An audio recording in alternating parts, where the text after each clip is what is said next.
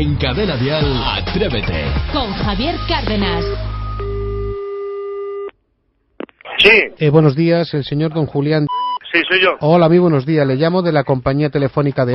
Sí, dígame. Eh, soy el responsable, mi nombre es don Alberto Sánchez Sí. Ruano y soy el responsable de, de mantenimiento y de órdenes de incidencias telefónicas. ¿Qué le ocurre a usted, señor? Bueno, siguiente. eh, yo antes veía, yo tengo, aparte de la televisión que tenemos en el comedor, pues yo tenía una en, en la habitación donde yo veía varios canales, menos lo que emitía, que eso lo veía en la otra. Sí. Entonces se estropeó, se ve y no, no veía ya ningún canal, ni el de historia, ni nada. Entonces les llamé a los técnicos. Llegaron y efectivamente lo arreglaron, pero me anularon la otra de la habitación donde yo veía pues mm, varios canales.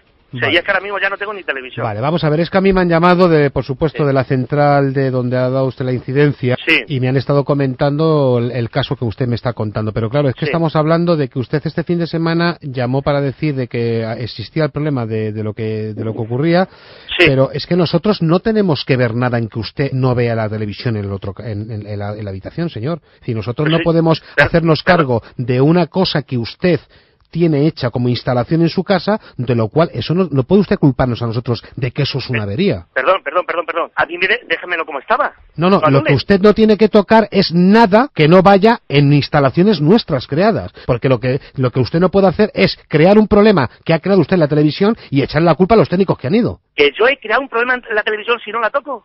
Pero usted qué está diciendo, oiga. No, lo que estoy diciendo no, señor, y le voy a decir otra cosa y me va, y me va a disculpar, pero usted el otro día a un operario que le estaba cogiendo la información y escuchándole, le dijo que se había dado usted con el tonto de turno. No, oiga, aquí no hay ningún Perdone, tonto. perdone que se está pasando en mi pueblo. Yo es la primera vez que hablo con una persona, esta ahora mismo. O sea, ¿qué me está diciendo a mí que, que, que yo era con el tonto de turno? No, no, no, ¿A es qué que... se está refiriendo? Vale, vale, yo lo único que le digo es lo siguiente, nosotros Sí, estamos... pero, como- pero acierte un poquito más. No, no, acierte usted, señor, acierte usted, que usted ¿Pero qué se... está usted diciendo, co- que yo llamo a tonto aquí, hombre? Pero a mí me la tengo que tragar, hombre. Me- me quiere a mí me la tengo que tragar. ¿Me quiere Eh, escuchar un momentito, por favor? ¿Me Venga, quiere sí, hombre, Mire, le voy a decir una cosa y se la digo claramente para que lo entienda porque me estoy dando cuenta que usted es un bruto. Vamos a ver, señor. Usted es un hijo de... Escuche un momentito.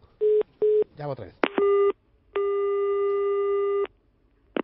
Me cago en su p- madre. Sí, Señor don Julián, vamos a ver qué pasa, hombre. le pediría por favor que no me colgara el teléfono ¿Cómo porque... que no me colgar? ¿Usted tiene derecho a llamarme a mi bruto sin conocer ni sin haber hablado? ¿Cómo es esto, hombre? Le con las decir mismas, mire, con las mismas coge usted. Corte, corte el ano y a tomar por el... Ya se acabó, se acabó la historia. Vale, pero yo voy a cortar el ese, pero, pero le voy a decir una cosa. claro? ¿Le parece claro, claro cómo hablo, sí Vale, o no? pero le voy a decir una cosa. Me voy a acercar a donde... Uy, vas a cortar, me cago en la... ma- Llámale otra vez. Estoy trabajando. ¿Sí?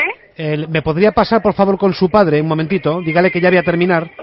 Mi padre no es mi marido, pero está trabajando. Bueno, dígale, por favor, a su marido que se ponga el teléfono un segundico. Dígale que soy el operador que ha hablado con él. Que no quiere, que está Dígale que si tiene está- huevos, dígale que si tiene huevos, que se ponga. Seguro que tiene bien puestos los huevos, pero que no quiere hablar contigo. Pues pero diga- ¿qué vamos a hacer? Dígale que se ponga si tiene huevos. Que los tiene porque se los veo yo, pero que no quiere hablar. Deje trabajar. Joder, la que estamos liando. Bueno. ¿Pero por qué le tengo que escuchar a este hijo de p? ¿Sabes por qué? Oiga, Bueno, esto, es que a mí es que me revienta esto. oiga. Vale, háblale tú ahora. A ver qué te cuenta él, ¿vale? Vale, vale. Sí, papá, dime. Eh, que soy Rafa, que te estoy llamando y te comunicas. Porque ha estado listo estos de aquí llamándome, que me tiene hasta los co... Pero papá, que es una broma de la radio. ¿Que es una broma de la radio? Julián, Sí. soy Isidro Montalvo del programa Atrévete de Cadena Dial, que le está gastando su hijo y su hija una broma telefónica, hombre. Me cago en la madre que lo parió. Estoy que muerdo ahora mismo. Estaba cerrando y me iba, y me iba a la oficina de a cagarme en su... Claro, porque es que esto ya era inaguantable. Y se puede ser tan pesado en esta vida, hombre. Bueno, señor Julián, que muchísimas gracias por todo y un abrazo muy grande. Venga, igualmente, hombre. Venga, hasta luego a todos. Adiós, Rafa. Adiós. Chao, chao, chao, chao, chao. Cada mañana